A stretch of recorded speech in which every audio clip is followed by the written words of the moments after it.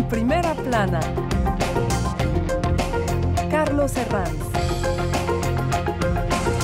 Bienvenidos en Primera Plana, un programa de Radio Francia Internacional y de France 24. Esta semana ponemos el foco en Estados Unidos, a un año de las elecciones y de que probablemente se reedita el duelo entre Joe Biden y Donald Trump. Para ello nos acompañan en este estudio tres invitados que ya les presento. Alan Reading, ex corresponsal del New York Times. Bienvenido, Alan. Hola, ¿qué tal? Matilde Carton es eh, directora del servicio de noticias de la revista El. Bienvenida. Muchas gracias. James Cohen, especialista de Estados Unidos de la Universidad París 3. Bienvenido. Gracias. Y desde Washington, nuestro corresponsal Cristóbal, Cristóbal Vázquez. Buenos días. Muchas gracias por la invitación. Muy buenos días. A un año de las elecciones en Estados Unidos, hoy nuestro asunto en primera plana. La única vez que un expresidente de Estados Unidos volvió a gobernar luego de haber dejado la Casa Blanca fue en 1893. La hazaña fue del demócrata Grover Cleveland. Ahora Donald Trump quiere ser el hombre que lo consiga de nuevo. Para ello le apuesta una tormentosa campaña electoral en contra no solo de sus rivales políticos, sino también del sistema de justicia estadounidense. Recuerden, cuatro causas penales que suman más de 90 cargos criminales. Frente a él, en el duelo más probable, estaría el presidente Biden. Para muchos analistas, el factor edad en este caso sí que hay que considerarlo. Nunca antes un candidato les había pedido a los estadounidenses que le dejaran las llaves de la Casa Blanca hasta los 86 años. Repasemos lo que dice la prensa. NBC News desde su web está haciendo el seguimiento a todos los candidatos, ya no solo a los dos que damos por protagonistas. The Independent publica un sondeo que da empatados al 36,5% a ambos, a Biden y a Trump. Desde aquí, desde Francia, Diario Le Monde, el ex vicepresidente Mike Pence retira su candidatura para liderar el Partido Republicano, dice, tras una madura reflexión.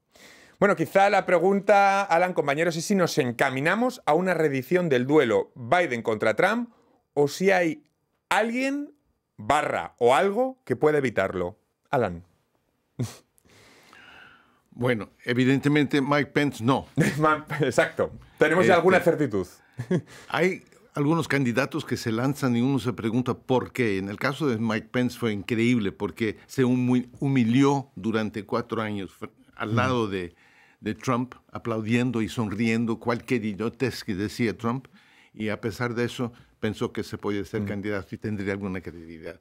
Ahora, hay otros candidatos, em, otro que se creyó mucho, eh, Ron DeSantis, el gobernador de, Florida. Pero esa burbuja... Mm, se, levantó mucho y ahí también. Y porque eh, interesante en su caso fue también su ambivalencia frente a Trump. No sabía cómo agarrar el, monstruo, si atacarlo directamente, tenía miedo a atacarlo directamente.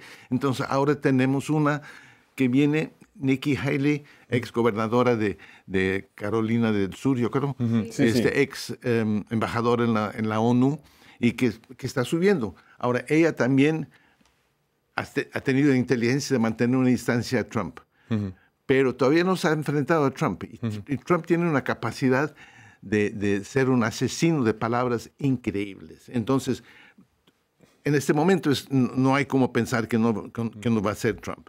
Y en el caso de, Biden, igual. Ahora, como periodistas sabemos que siempre no prevenimos lo que va a pasar o lo hacemos mal. cual, puede haber muchas otras cosas. Claro, son realidades distintas. En el Partido Republicano han engendrado un monstruo y ahora cualquiera sale a enfrentarse a esos votantes de Trump y a, y a cómo va a seguir el camino con las causas judiciales. Y en el Partido Demócrata las dudas es si se necesita una regeneración política o no. ¿Hay alguien o algo que pueda evitar que se redite el duelo, Matilde?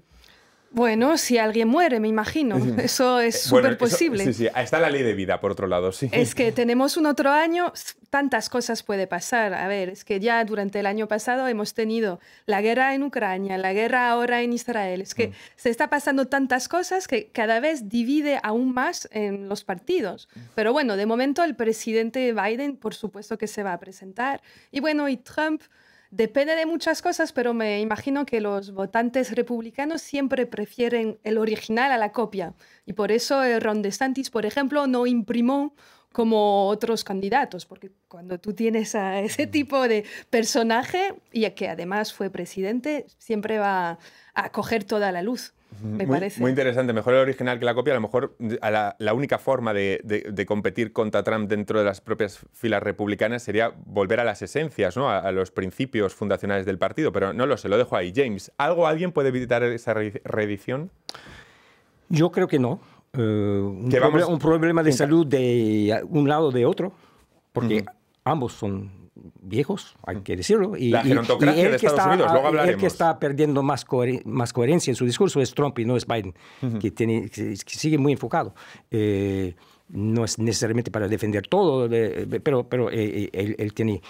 Y, y- y tengo que decir también que eh, no es cualquier carrera, no es cualquier elección, se puede comparar si uno quiere con Grover Cleveland hace un siglo, pero ahora estamos en una batalla por la democracia. Vamos a ver cómo se ven las cosas desde Estados Unidos. Eh, corresponsal Cristóbal Vázquez, ¿la reedición del duelo entre Trump y Biden es por hoy la opción con la que todo el mundo cuenta allí en Estados Unidos? Repetir esta opción entre Trump y Biden parece ser una opción inevitable. Sin embargo, no es la que la mayoría de la gente quisiera.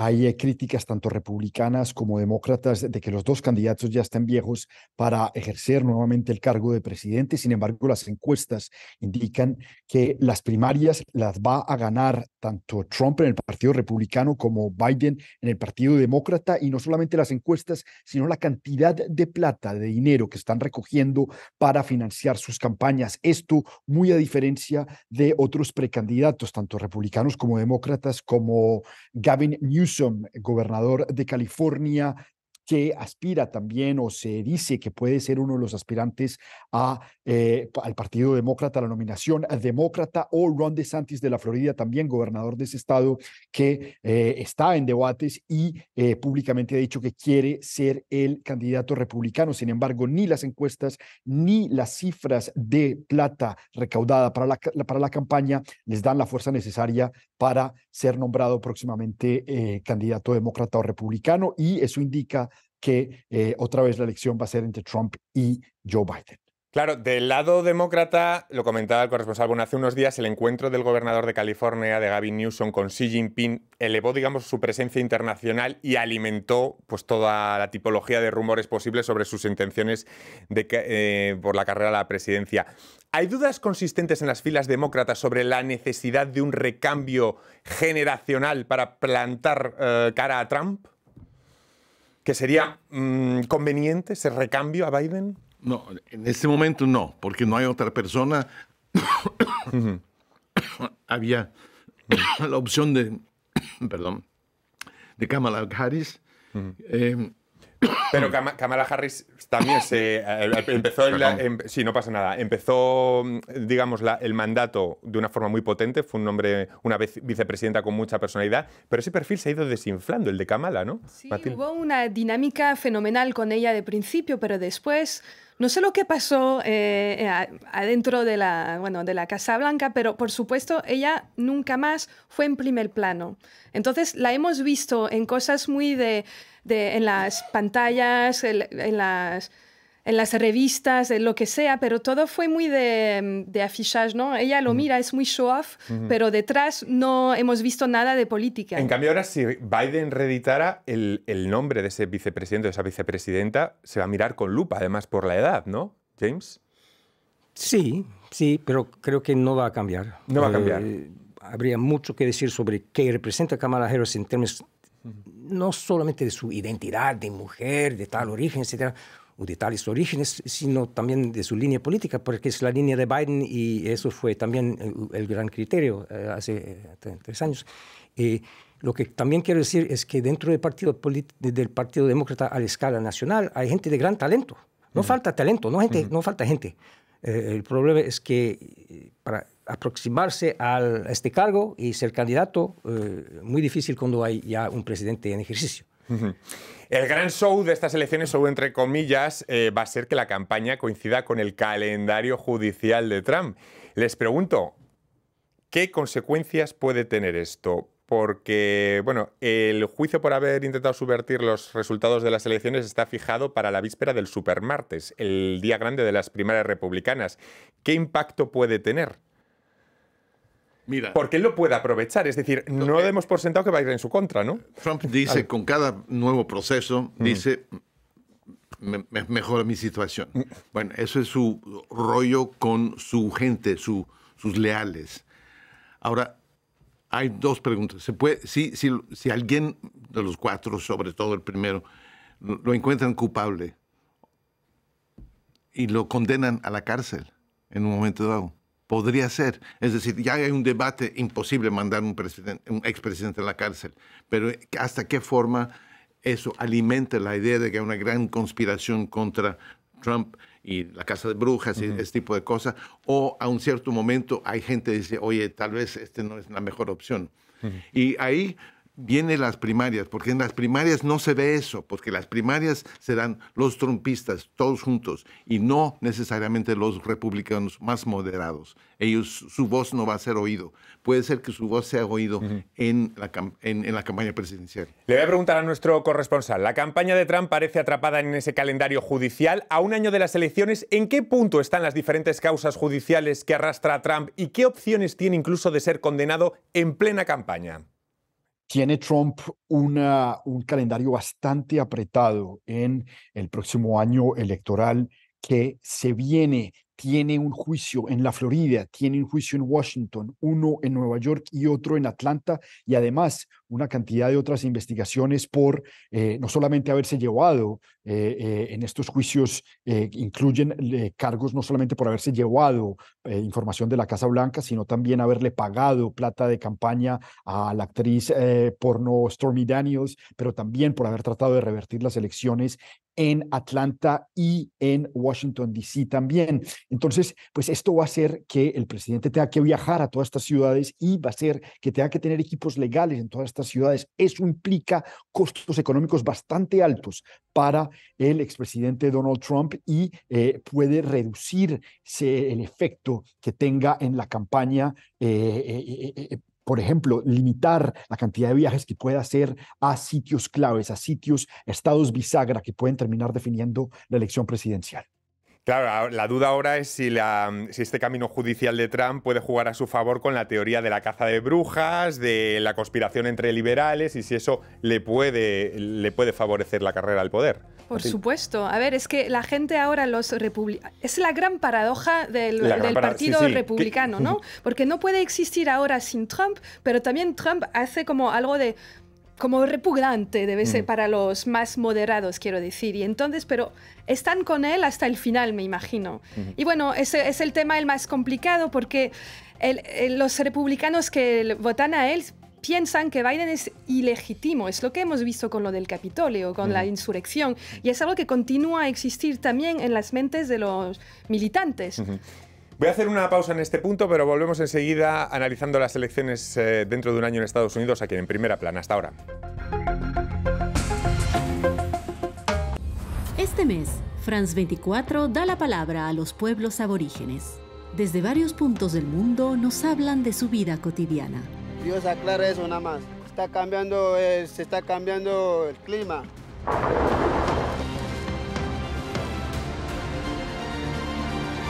e temi tokola ri ana kene aku di loke ana nyana kume kan ngara magi seta dauno dong barna kata utek kita mau me chas narapu kan kinna kan intunan itu sundi na di wa kuda kai kai in global warning for everyone today because we worrying now bushmills. The Kenya Panama. Hasta Groenlandia y Australia, sigue la batalla diaria de estos pueblos por su supervivencia. Ser turcana cuando la sequía mata. Ser inuí cuando la banquisa se derrite. Ser aborigen cuando la sabana se incendia. Ser guna cuando el océano sube. Los pueblos aborígenes enfrentan la crisis climática. Una serie de reportajes especiales en France 24. Seguimos en primera plana este año, este- esta semana analizando las elecciones en Estados Unidos que se van a celebrar dentro de un año y nos preguntamos si vamos a reeditar de nuevo ese duelo entre el presidente Biden y Donald Trump y también estamos hablando de ese camino judicial, de ese panorama judicial que se le abre a Donald Trump ya eh, en, en cuanto se empiecen a celebrar las elecciones primarias. Lo hacemos con Alan Reading, es corresponsal del New York Times, Matilde Carton, directora del servicio de noticias de la revista El, y James Cohen, especialista de Estados Unidos de la Universidad París 3. Desde a distancia, desde Washington, nos acompaña nuestro corresponsal Cristóbal Vázquez. Estábamos analizando desde la pausa la figura de Trump, sus causas judiciales. Vayámonos al otro lado, a Biden. ¿Le pesará más la edad o el hecho de estar en el cargo? Lo cierto es que los indicadores económicos del país están en verde, la economía creciendo a un fuerte ritmo, el desempleo, el desempleo en niveles bajos. La pregunta que, nos ca que cabe hacernos, James, es ¿por qué Biden no es capaz de capitalizar en popularidad esas cifras económicas? en un país muy polarizado, mm. Eh, hay cierto porcentaje que nunca va a captar. Eh, creo que también hay el problema de la edad, hay, hay, debe haber muchos votantes, uh, votantes potenciales, jóvenes que encuentran Biden uh, como un viejito, etc. Es, es, eso, esos factores sí tienen su importancia. Eh, yo creo que um, los logros, modestos logros y no tan modestos de los demócratas en el poder de, en esos, esos uh, tres años, eh, son bastante difíciles de explicar. Los, las leyes por las cuales vinieron estos logros llegaron en condiciones terribles, con ningún voto republicano en favor, eh, más polarización en eso.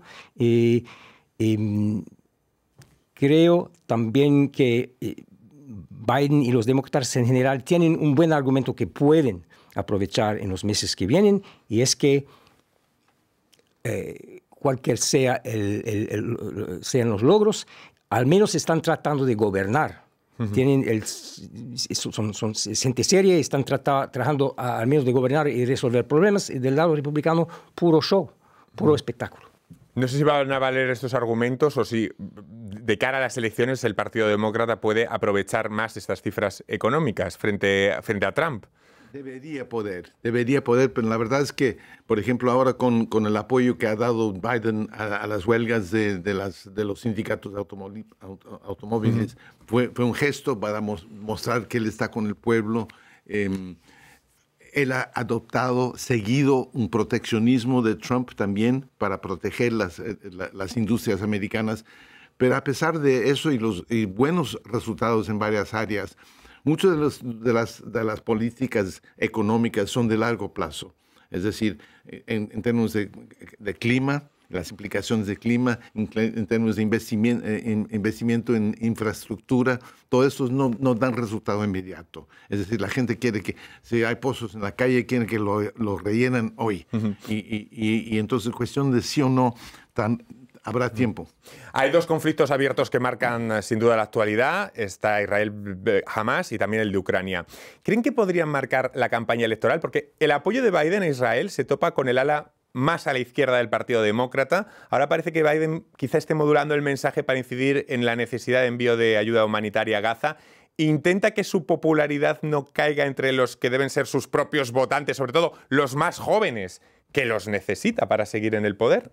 Sí, es que ahora... ¿Atribuís a eso que esté modulando Biden el mensaje? Lo está haciendo porque eh, adentro del Partido Demócrata hay una división generacional. Uh -huh. Quiero decir que antes la política del Partido Demócrata siempre era tenemos que dar a Israel todo el Un dinero. Un apoyo sin fisuras. Exactamente, sin condición. Pero de momento lo, las generaciones un poco más jóvenes están diciendo que también Palestina hay hay también que ayudarles de una manera o de una, de una, otra, pero solo esto de poner como una condición o solo de, de cuestionar a este apoyo pa parece algo uh -huh. súper diferente, ¿no? Como un terremoto en cuanto a la ideología. Además de por el conflicto, tenía. está claro que parece que Biden no, no apasiona a los jóvenes eh, demócratas. El fantasma de que vuelva Trump, que vuelvan po políticas cosas contra las libertades, como el caso del aborto. ¿El, el fantasma Trump es suficiente motivo para que esos es jóvenes... Un ya. Es un gran motivo. ¿Va a ser un, mo motivo para movilizar a esos jóvenes que no están apasionados ni mucho menos por Biden? No, pero si, si los demócratas insisten en el peligro que hay para el derecho de, de votar, si, y si, y si re- recuerdan a la gente lo que fue el caos bajo Trump, que puede ser mucho peor y mucho más autoritario. En una- un proyecto autoritario mucho más construido de segunda vez, este argumento te- puede tener su importancia. Vamos a preguntarle a, a nuestro corresponsal, ¿todo este calendario judicial eh, puede beneficiar eh, la puesta en escena, digamos, de Trump con sus seguidores, que se reafirmen frente al sistema o no tanto? ¿Qué sensaciones hay, Cristóbal? La sensación en Estados Unidos es que eh, las personas que ya iban a votar por Donald Trump, pues eh, van a seguir votando por Donald Trump independientemente de la cantidad de investigaciones o los cuatro juicios que se vienen el próximo año contra el expresidente. Eh, lo que indican las encuestas es que estos juicios han tenido muy poco efecto, ha sido muy marginal en el, eh, votante republicano que apoya a Donald Trump y pues lo que sí termina, lo que sí terminamos viendo es que aunque no tenga mucho efecto a la hora de determinar cuántos más o cuántos menos van a terminar votando por Donald Trump, lo que sí tiene efecto es cómo el expresidente está monetizando estos juicios y estas apariencias en la corte cada vez que hay una apariencia y por eso es que se que, que va Donald Trump a estas audiencias sin ser ni siquiera obligatorio el presentarse, él va eh, y, y hace declaraciones ante las cámaras porque esto le sirve de pie para poder pedir financiación a sus simpatizantes. Cada vez que va a una de estas audiencias, él manda correos antes pidiendo, pidiendo fondos para financiar su campaña con el argumento obviamente de que le robaron las elecciones pasadas, de que esto es un fraude y que hay persecución política. Así que no tanto a nivel electoral, pero sí a nivel de formas para monetizar su campaña, estos temas legales y estos juicios le terminan beneficiando al expresidente Trump. Matilde. Sí, pero también algo cambió el año pasado y fue lo del tema del aborto. Porque eh, hay que importante. acordarse, el año pasado para las elecciones de medio mandato, todos hemos imaginado una ola roja que iba a tomar todo. No pero eso no pasó, porque es que hay mujeres en el Partido Republicano y no todas están evangelistas con algo súper de extrema derecha. Ellas, ellas también consideran que el aborto es algo personal, no es algo del Estado. Y entonces puede pasar como una resistencia con esto y por eso no sé si está pasando. lo está pasando. ¿no? Y además que, por ejemplo, eh, la semana que viene, el 7, va a ser el día Election Day en Estados Unidos y, por ejemplo, en Ohio, y ya lo estamos viendo, hay una, van, a, van a poner el boletín, el, la, para poner el aborto en la constitución del Estado. Y esto, a ver cómo van a hacer los votantes. Pero a esta resistencia significa también que los republicanos y además los trumpistas no tienen todo hecho para ellos. Y luego está el tema de cómo va a afectar esta elección a América Latina. Por ejemplo, Alan, el tema de los flujos migratorios con América Central, ¿en qué se va a diferenciar que uno u otro candidato pueda salir elegido? Bueno, todo el mundo se acuerda que en la campaña de Trump eh, hace siete años, ocho años, empezó con eso. Eso fue el tema. Sí. Los mexicanos llegan a, a no- nos- a violar, robar, todo. Y, y el famoso muro, que no acabó, pero vea, Trump, um, Biden em- empieza a continuar con el muro. Es decir, se da cuenta que es un punto explosivo la, la- la ola continúa de una forma increíble. Hay también miles de personas paradas al lado de, de la frontera, al lado mexicano, espantoso. Pero es un tema en que en que cualquier momento puede volver a ser un, un tema nacional. La única diferencia es que los estados donde se oponen más a, la inmigración son los estados que ya son republicanos. Entonces puede ser que no afecte tanto cuando lleguemos a este otro misterio que es el colegio electoral. Hablando de estados, serán unas elecciones donde la clave pueda estar en un puñado, como siempre. Quizás por ello, en la reciente huelga automovilística de Michigan, hemos visto desfilar por allí tanto a Biden como a Trump. ¿Por qué ese voto de obreros de la industria automotriz es tan codiciado? Se, nota, ¿no? Hay, hay veces que surgen cosas y de repente dicen, uy, ahí está el foco. Eso es importante. Ahí van los dos. James. Sí, o- obviamente. fue- Michigan puede hacer ganar unas elecciones, cosa fue- que no fue puede pasar. focal por estas dos razones, obviamente, por razones electorales y por razones de una huelga muy importante, que es la, la huelga más importante en la gran industria que ha habido en muchos años, con un eh, sindicato y un líder sindical de otro estilo, o más de lucha obrera. Y lo interesante fue que Biden fue a ver, al encontrar el sindicato Trump no fue a encontrar el sindicato, fue a otra fábrica sin sindicato, y, pero eh, Biden por primera vez en la historia de Estados Unidos fue a encontrar un, piquete de, huelga durante la huelga. y, eso fue un, gesto eh, que muy apreciado, creo, por... En este contexto es interesante el, crecimiento en los últimos años del poder sindical en los Estados Unidos, en, varias áreas. Siguen débiles estructuralmente, pero están Sí. Y luego hay una cuestión de fondo que estamos tratando, que no hemos llegado a tratar todavía, pero que a mí me gustaría, en la que a mí me gustaría entrar, que es la gerontocrática política estadounidense, porque bueno, Biden y Trump no están solos, podrían ser los hermanos menores de una veintena de senadores y congresistas. Muchos tratan de aguantar mientras el cuerpo aguante, digamos. ¿Qué representa o qué dice esta gerontocracia del sistema de Estados Unidos, Matilda? Que tenemos que cambiar, ¿no? A ver, es que no soy americana, pero por favor, a un momento mejor si tú, tus representantes representan a tu vida, representan a las personas activas que saben cómo funciona esto. Así que para mí, a ver, eh, también y se, se nota que el cursor es difícil de poner, porque siempre decimos también que, que no pongamos a la juventud por ser un estado en valor, ¿no? Es decir, la experiencia es un grado y también hay... pero hay experiencia y hay hablar del humus y no del jamás durante discursos. Eso lo hizo Trump la semana pasada. Así que bueno, por favor, tenemos también que cambiar un poco las cosas. Y me parece importante que la juventud que tiene que luchar contra el cambio climático, que tiene que hacer todo esto, necesita que ser representada. Y a mí me parece un poco raro. James. Yo creo que si estamos buscando evitar lo peor, evitar el desastre. También en términos climáticos, mejor votar demócrata y, poder luchar dentro de ese espacio para políticas más ambiciosas, pero porque del lado republicano nadie va a traer este tema, están todos digamos, vendidos. Una frase final, Alan, que me quedo sin tiempo. De sujeto, verbo y predicado. Bueno, el, que Dios nos pide confesados. Obviamente, como una persona mayor, yo creo que la inteligencia y la, madurez de nosotros este, vale la pena mucho y eh, no hay que despreciarnos. Y no hay que despreciarlo, efectivamente, no hay que confundir, no hay, que hay que saber valorar también. Pero el hecho es que, veamos, la Corte Suprema de los Estados Unidos se queda envejeciendo, envejeciendo y como todo el resto. Mm. Me quedo sin tiempo. Muchísimas gracias a los cuatro. Ha sido un placer también a nuestro corresponsal desde Washington y a todos ustedes hasta la próxima semana aquí en Primera Plana. Gracias.